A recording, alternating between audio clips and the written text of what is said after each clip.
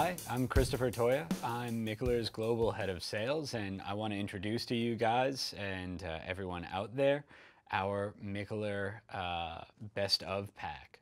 We think this selection of beers is the perfect uh, introduction to Mikkeller as a brand, uh, as a brewery.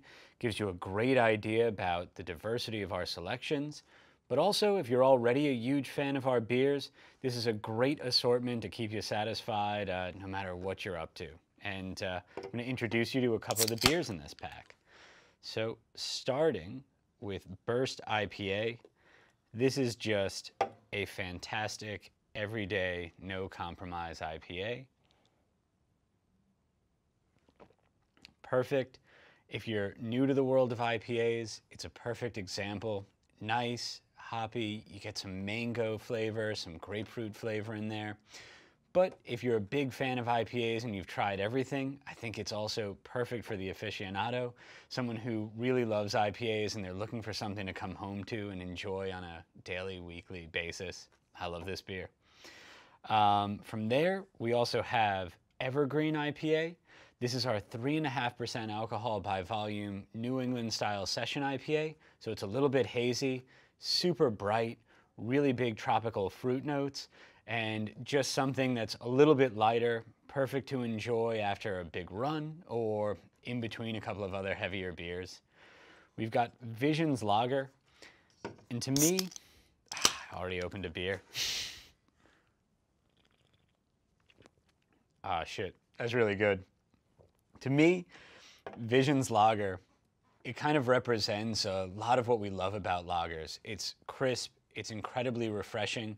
It's one of those beers that's delicate enough to be paired with something as subtle as sushi, but it can also stand up to pizza or hot wings or anything else that you're enjoying. It kind of encapsulates a lot of what we love about lagers from quite a few different traditions all into one beer. It's uniquely our own.